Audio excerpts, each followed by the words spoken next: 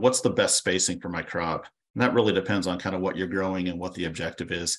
If you're trying to germinate a field, closer is often better. If you're in kind of a light to medium uh, ground, uh, you know, closer is is good as well. And I just wanted to kind of talk about a study that was done years ago, and they compared two different drip. Uh, this is the same flow rate, but one is an eight inch and one is a 16 inch.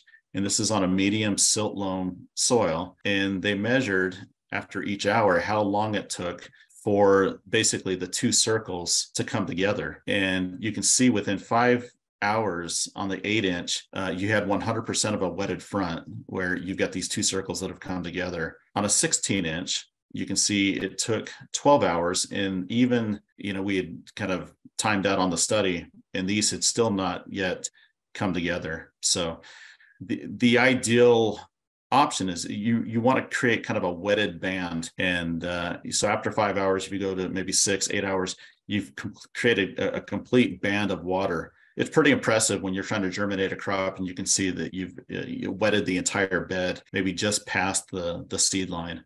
So it uh, you know trying to figure out the right spacing and the right flow um, is uh, it's important and just uh, uh, was impressed. T Tape has made the investment uh, all the way from four inches up to I think 24 inches and everything in between.